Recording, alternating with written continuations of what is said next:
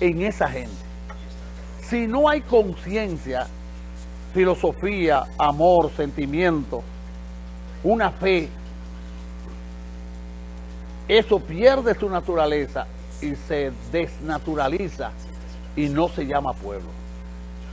Le pueden llamar masa.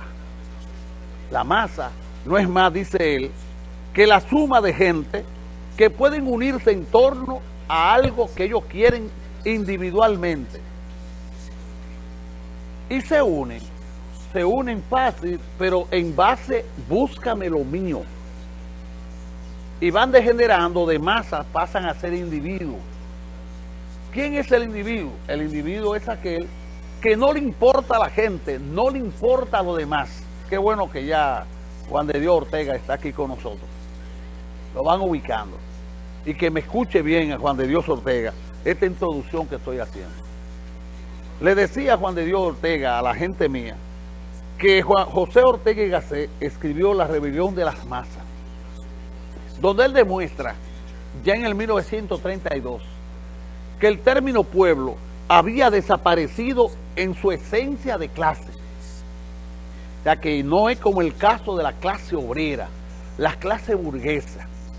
El pueblo es una pendejada que los, lo usan en sus labios, los falsantes, para decir el pueblo me apoyó, porque no es un término eh, numérico. Es una pendejada para decir mucha gente. Yo recuerdo que una vez Adriano Cruz, alguien le dijo, mucha gente critica el Jaya. Y Adriano le dijo, ¿qué es mucha gente?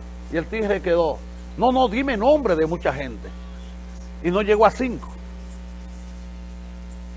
Y me gustó esa práctica porque aquí le gusta mucho utilizar el término pueblo, las masas y otra cosa que dice Ortega y Gasset.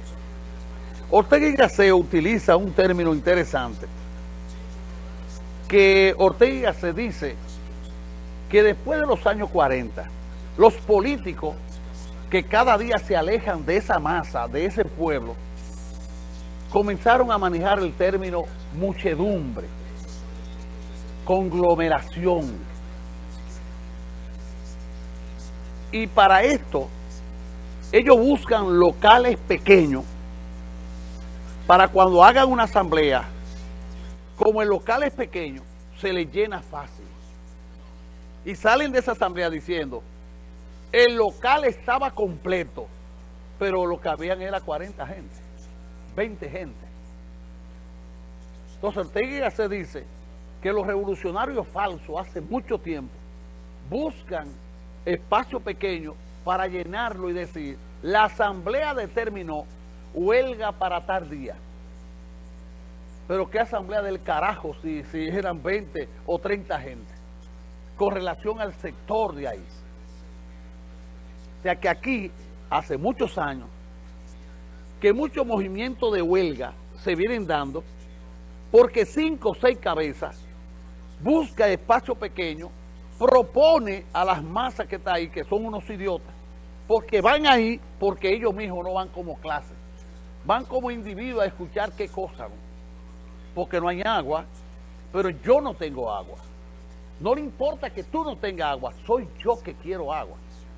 Quiero carretera asfaltada, a mí no me importa que tú tengas carretera asfaltada o no, soy yo que quiero la carretera asfaltada.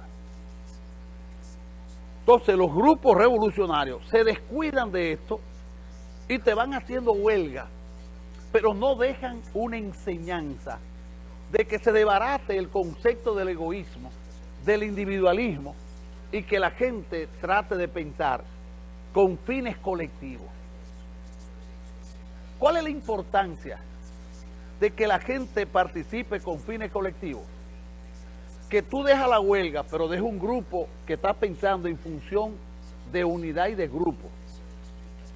Pero si tú haces 20 huelgas bajo la característica que le estoy explicando, de que no me importa si va mucha gente o no, sino que yo soy dirigente, planteo la posición de la huelga, son 20 gente y salgo diciendo de ahí, la asamblea, el pueblo decidió la huelga y quien la ha decidido son cuatro o seis individuos que necesitan determinado tiempo, que la gente los reconozca como líder, porque ellos han aprendido que siendo líder se vive mejor.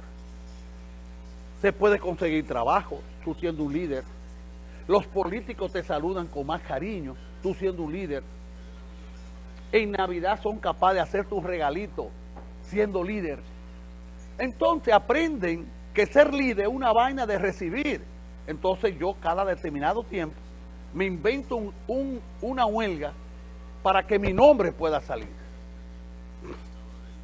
Entonces, esta pendejada hay que romperla.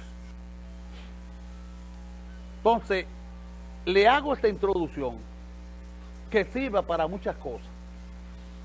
Pero entre eso, el caso del discurso de Danilo Medina. El PLD hace mucho que dejó de ser pueblo. El PLD es un grupo de individuos que aprendieron que a través de la política y del partido pueden llegar lejos, como se le llama en esta sociedad. Ese carajo llegó lejos. La mía familia, ese hijo mío llegó lejos, él es diputado, pero un diputado en función de él. Un diputado en función de su, de su individualidad.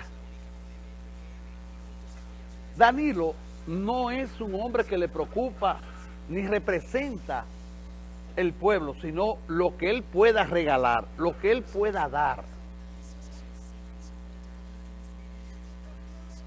Entonces a la gente se le ha hecho fácil decir que Danilo dijo anoche que no va.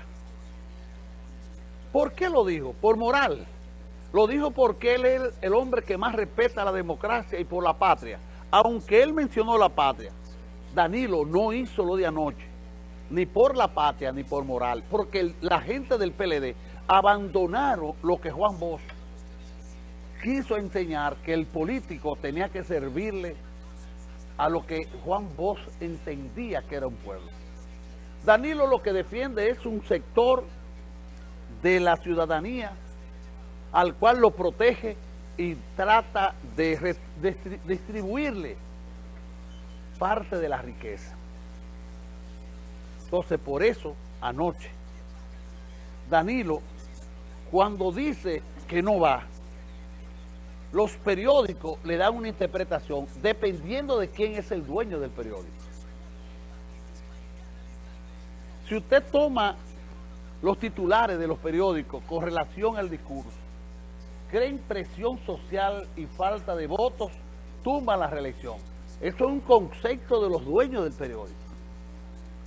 Pero es un país donde los diputados, su naturaleza es venderse. Es un país donde un diputado, su meta y llega al Congreso, es con fines de buscársela y de conseguir. Entonces, un país así, sobran votos, lo que faltan es el, el dinero para pagar.